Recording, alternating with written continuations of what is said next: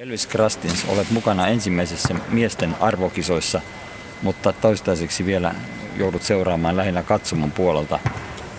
Miltä tuntuu ajatus nyt jännittää katsomossa eikä pääse kentälle tai vaihtopenkille? Ää, no harmittaa se tietysti vähän, mutta ensimmäiset kisat niin tästä kehitystään ja toivotaan, että saadaan paikka joukkueesta parin vuoden päästä.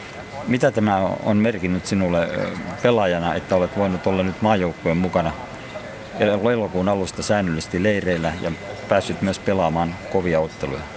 No iso merkitys on se totta kai mulle, kun tota, ensimmäistä kertaa että niin näin korkealla tasolla ja se on tota, iso edistys, edistysaskel.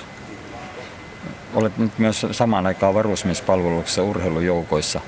Kuinka rankkaa on käydä yhtä aikaa armeijaa ja olla sitten myöskin tuota, no, niin, esimerkiksi maajoukkueen leireillä? No mehän päästään aika lailla luistamaan tuosta itti-touhusta, kun ollaan aika lailla urheilukomennuksella nämä leiri, leirit.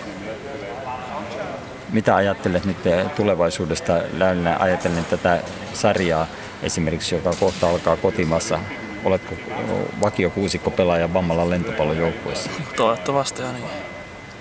Teillä on ilmeisesti kuitenkin aika kova kilpailu pelipaikoista, vaikka sinä ja Olli Kunnari olette nyt tässä maajoukkueen ryhmässä. Joo, siis meillä on tosi kova rosteri mielestäni tota meidän joukkueesta, kun silloin Sakari Mäkinen ja Eilis Karinen tuli nyt uutena, niin siellä on kova kilpailu. Joo.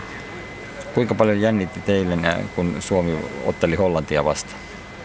No, nyt kun ollaan tuossa joukkueen sisässä, niin varmaan vähän enemmän kuin katsojana.